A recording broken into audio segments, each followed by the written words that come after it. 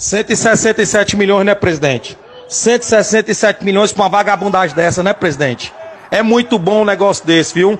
É muito bom. O senhor é tão macho que o senhor gasta 5 milhões em campo, 3 milhões de consultoria, essa vagabundagem todo ano dentro do clube, 20 perebento, ainda tem mais uma carrada de perebento. O senhor, como é que senhor bota uma multa de 50 milhões num vagabundo desse como Kleber?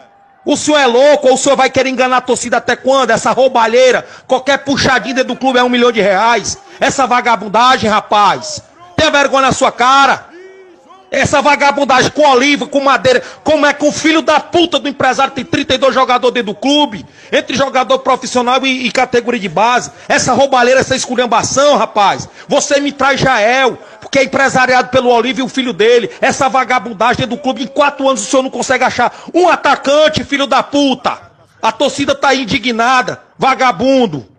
Agora o senhor tem a marra para entrar com ação contra o torcedor. Eu quero que o senhor entre. Entre com ação contra o torcedor. Que eu tô doido para fazer uma auditoria desse clube. Para mostrar a vagabundagem. Que qualquer puxadinha é um milhão e meio. Essa roubalheira aí dentro.